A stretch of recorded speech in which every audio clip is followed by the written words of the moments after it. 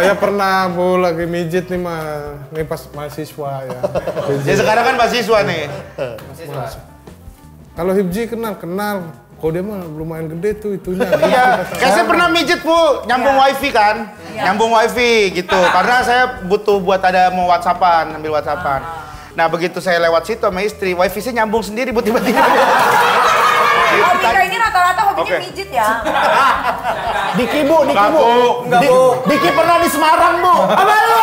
Ya, yang itu. Yang itu. Bener yang itu. Yang itu. Kan gua mah nggak ngarang, nggak kayak lu suka ngarang cerita demi diundang podcast. Kalau komika yang menurut kalian tidak lucu siapa? Oh banyak lah bu. Oh banyak.